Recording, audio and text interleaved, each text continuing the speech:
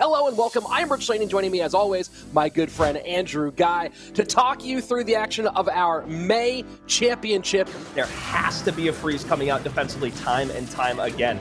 Now Mo going back on offense, Miner plus Spear Goblins, Fireball on top of that balloon. Is this going to be enough to defend though?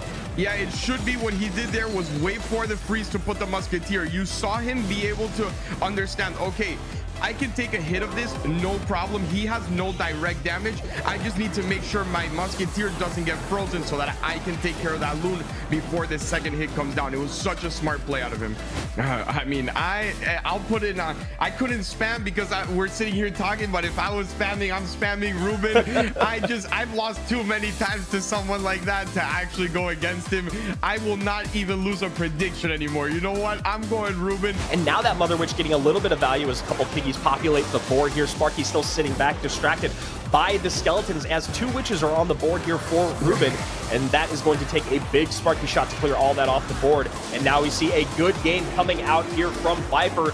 Two up, two down for our former world champion. That is an easy four games and two sets to the favorites. Do not take that zap for granted. Watch what he's going to do. I'm pretty, pretty sure towards the end of the game, we might see a zap on the tower to keep a Mega Knight with one HP on and get that retargeted onto the miner. Something that the best players do over and over again. And wow, that is a wow, lot of damage. There it is. Yeah, Musketeer on the tower. Samuel Basoto starts to set off a little shaky, but then you see there the fist pump, a little bit of emotion, and that is the veteran player from Brazil coming out, taking this set. And I like that. I really think this is the correct thing to do for Hire. Just load up the weak side lane. That tower is actually the weaker one for him as well. So, so much can come down here, and it's very hard to create an offensive counter push. We do get the Ewiz in a very brilliant spot, but there's nothing left in the tank, Rich.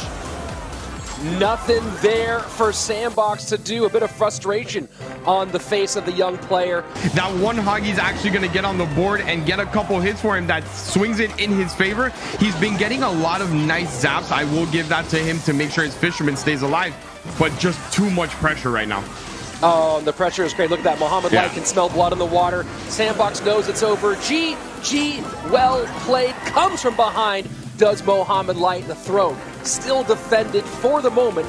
That is it. Ruben and the Flying Machines doing exactly what we said. Look, we talked about how Ruben could do it 30 seconds at the top of a game, or he can do it in the last minute of a five-minute game, and he did just that. He held on confidently for four minutes, waiting for triple elixir, holding on to that bar barrel. He missed one goblin barrel throughout the entire time. The rest of it was all defended so brilliantly. Even with the loss, Mohamed Light still is in first place by an entire victory, an entire first place finish, 100 points ahead of Samuel Basoto, who's got 420 points.